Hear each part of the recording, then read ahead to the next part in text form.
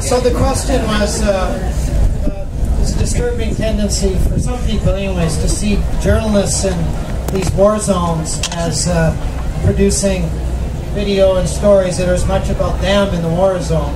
Geraldo Rivera and Tora Vera, uh, Tora Bora, whatever. Um, and what's it really like? Is there a difference between those types and real reporters where you go? So you guys can all tackle this, but Michelle, I'll start with you because Michelle's new book is exactly about a decade of covering this stuff. Did we mention- Well, Carol Off of CBC who just asked that question. But I'll tell you one thing. Uh, getting these people to talk, these three, in print, like in their public role, about their, themselves is very, very difficult. So thank you, Carol. It, it's a terrific question, and not a not a planted question. But um, Carol and I um, work with an organization called uh, Canadian Journalists for Free Expression, and a lot of what we do there is honoring local journalists in um, the regions, and they are really the ones that feel the, face the danger. Um, it might be unfair to say, but I think there is a divide in what you're talking about between television journalism journalism. You, you tend to see that more with, with anchors and the vests and the sort of sexy journalism about people being in danger's way. Um, you know, I think the golden rule of journalism is you report the story, you don't become part of it. Um, that's what we try and do. Now, so I'm not a total hypocrite. The book I've just written is called Reporting from Terrorism's Gray Zone, um, and it is about 10 years of reporting on terrorism. But I will tell you, it was with great reluctance that I brought myself into it at all. Um, unfortunately, I was sort of the thread that goes through that. But I think you have to be careful not to do that in journalism, and I think there is a temptation sometimes. Carol. I will say that it doesn't nobody, I wouldn't have asked this question and I myself as an entity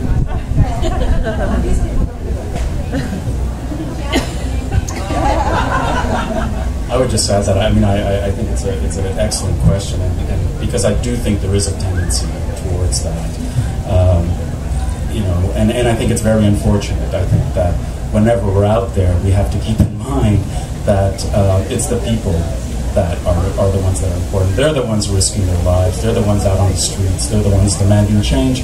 And it's it's we have to try to understand why they're doing that. And uh, and the only way to do that is to talk to them and make them front and center in our reporting but uh, there is a tendency now of people uh, journalists writing about themselves in these situations and I think it's really unfortunate I remember this one moment in Tahrir Square. I I ran into this, I think he was 17 or 18. And the night before, people had, uh, Mubarak's thugs or somebody had shot snipers. Snipers were killing people in the square all night. You could hear the gunfire from the safety of our hotel room. It was really unnerving. You wake up in the morning, you don't know what might have happened in the square. I meet him, he's got bandages all over his head. He watched this other young man die right in front of him the night before. He had been shot straight in the head. And he could have retreated, and instead he stood there. He stood there and, and fought to keep the square intact.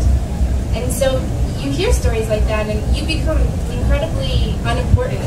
You know, these people are spilling blood for ideals that they believe in, for their own freedom. They're fighting for values that are universal to all of us. Like it just it doesn't really matter what happens to you as a journalist. It doesn't matter if you're having an uncomfortable day or if somebody's rough with you.